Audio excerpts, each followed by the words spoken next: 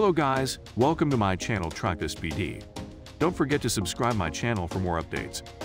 Today I'm gonna show you top 5 Guangzhou China wholesale markets with details. Number 1 Baima Clothing Wholesale Market.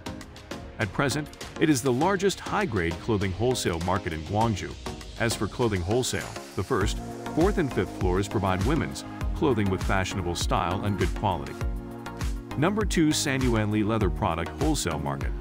This market is mainly engaged in wholesaling various products, especially bags, watches, sunglasses, and many more.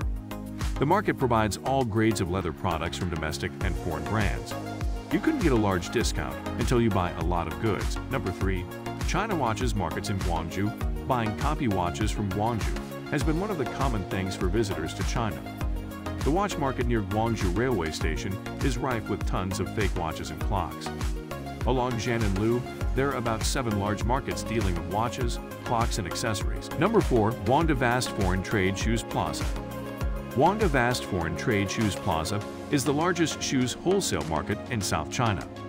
This market offers all kinds of shoes, like sports shoes, hiking shoes, ankle boots, leather shoes, and children's. Number 5 Nanfang Building International Electronic and Digital City An electronic and digital products wholesale market for both domestic and global market phone, digital camera, phone parts, SIM card, repair service available. Thank you for watching my video.